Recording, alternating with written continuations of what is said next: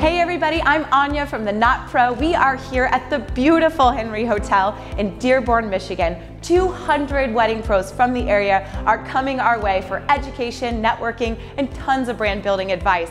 Let's do this.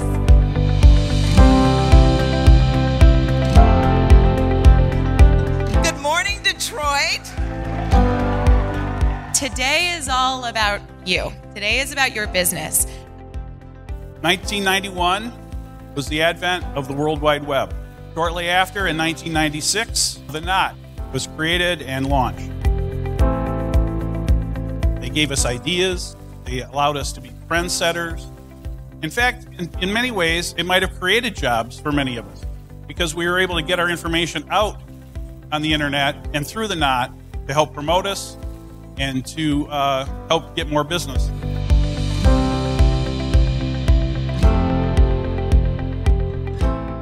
Really want everybody to kind of, you know, get a little bit out of their comfort zone, get pushed a little bit, because I really believe a rising tide lifts all boats in this industry.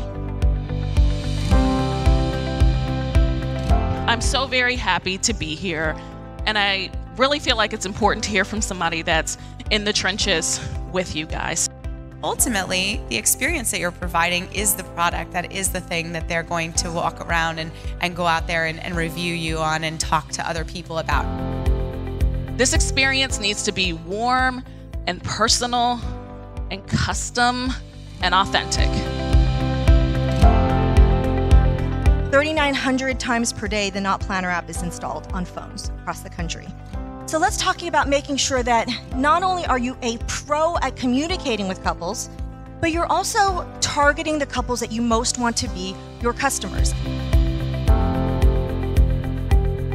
When you weren't allowed to get married for so long, when you weren't allowed to express love to your partner legally, when you finally can, you're gonna have the best damn party of your life.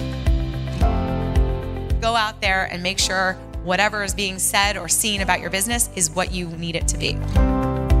It's a struggle. I, I drive the struggle bus almost every weekend, every weekend.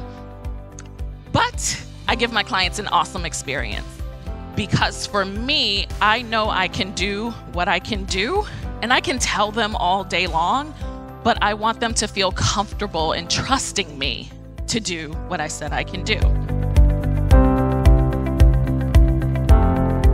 Have to really open our minds and our hearts to all couples who choose to celebrate love.